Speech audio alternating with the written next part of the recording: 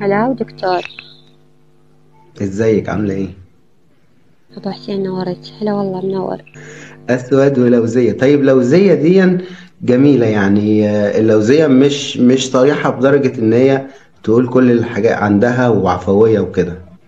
تمام؟ هلا حميدة. يعني تعتبر فلسفة صح؟ إيه؟ فيلسوف. فيلسوف ممكن كده آه. لا شخصيات ها تحلل الشخصية يلا يلا وريتني يلا قرب. شخصية اجتماعية تقدري تتكلمي مع الآخرين بسهولة تتواصلي مع الآخرين بسهولة. آه، شخصية تحفيزية دايما بتنشر الحماس آه، بين الآخرين.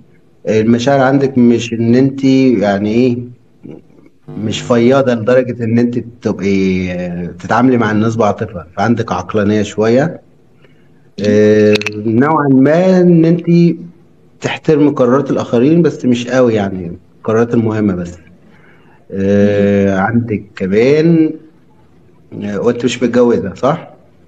صح آه.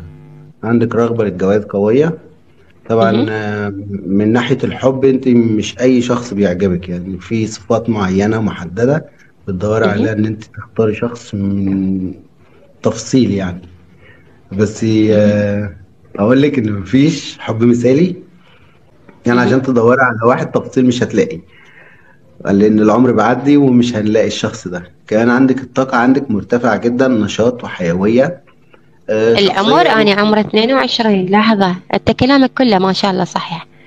ترى مو كبير. آه، بتنفعل بسرعة بسبب العصبية اللي عندك.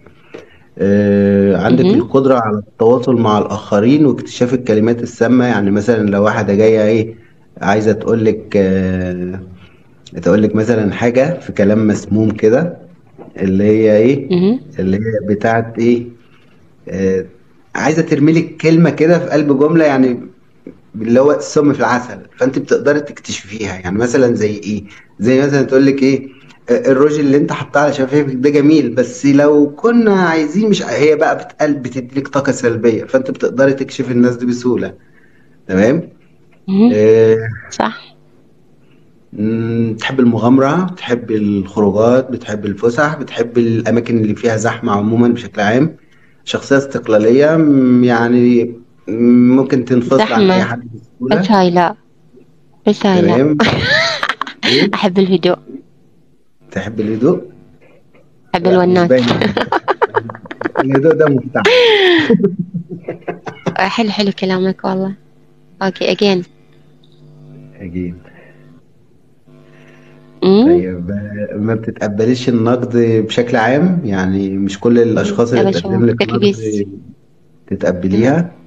كمان آه، كمان نقول إن أنت بتحب تجمع التفاصيل. عندك نوع من الفضول كده بس مش فضول عام يعني فضول من تفصيل اللي هو إيه اللي هو عايزة حاجة تعرفيها فأنت عايزة تعرفها بالتفصيل خاصة بيك أنت مش بشكل عام يعني. معلومات ما م... أنت مش محتاجاها. فدي انت مش لازمك ان انت تجمعي أمم عنها تفاصيل. انما التفاصيل اللي انت بتجمعيها بتجمعيها على موضوع آه انت بتفكري فيه أو ان انت مهتمة بيه. تمام؟ صحيح. طيب آه برافو.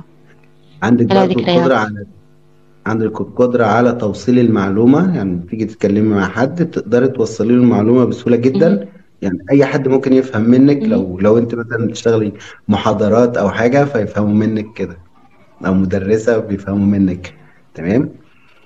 إيه. حلو. آه، كفاية كده. أوكي شكرا. والله. يعني بدون مجاملة وبدون آه، تناقض بالكلام صح كلامك. كليته. بدون استثناء.